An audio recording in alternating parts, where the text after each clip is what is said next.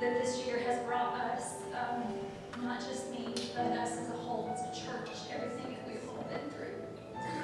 And the Lord gave me two scriptures. I'm going to bring out one and then I'll, I'll close with the, the other one. Um, but I wanted for to start by actually giving you guys one word and the definition of the word, and it's perseverance. Perseverance, what that means is a steadfastness in doing something despite the difficulty or delay in achieving the success. And steadfastness means an unwavering. So everyone's, let's say perseverance together. Perseverance. A steadfastness in doing something despite the difficulty, despite the difficulty, or the delay in achieving success. So today's scripture comes from James 1, verse 2 and 3, and I'm going to use the NIV version. It says, Consider it pure joy, my brothers and sisters, whenever you face trials of many That's kinds, right. because you know that the testing of your faith produces perseverance. Amen. So let's ask yourself this morning, what do you do when the pressure is on? It's easy to buy that gym membership, but to actually go to the is something else. Um, many times in my life, I have signed myself up to do 5Ks and or 10Ks or whatever. And the day it gets there, you know, I put on my jogging suit and I get halfway through and I'm done. I'm tired. I can't press on, but I need to press on. Um, muscles start fatigue and everything just starts to, you know, slow down. But yet, you know, but a lot of times, you know, I'll get halfway through those uh, 5Ks and I'm just done. I'm tired. I, I'm, I'm just ready for someone to pick me up and carry me home. But I can't. I have to persevere. I have to press through. I have to get to the end. Because the only way I'm going to get to my car is to get to the end. It is easy to pray a prayer and confess God, confess faith in Christ, that to keep following Him when the pressure is on takes a staying power. Let me read that scripture again, James 1, 2, and 3.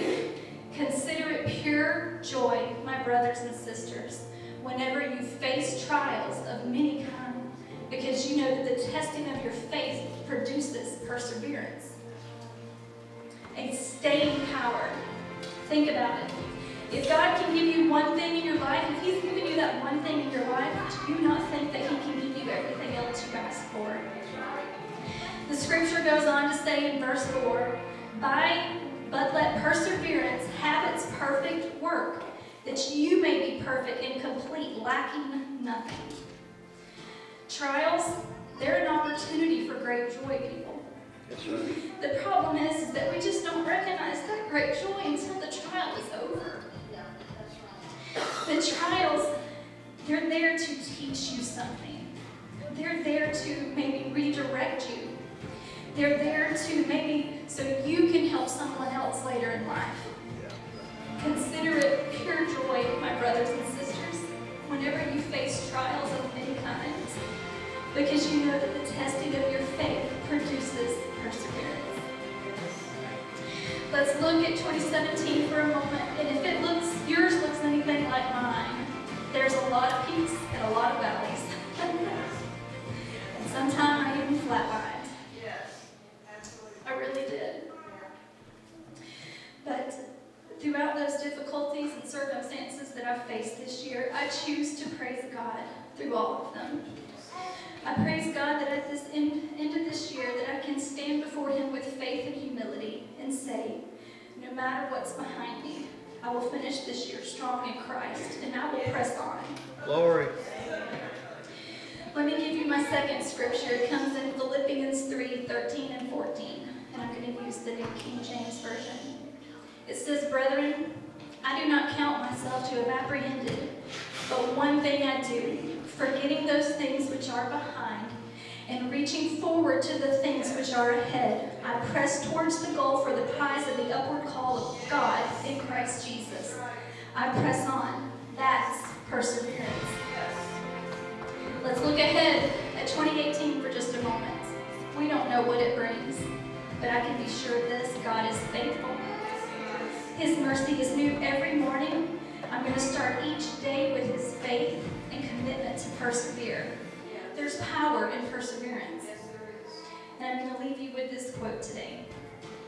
By perseverance, the snail reached the ark.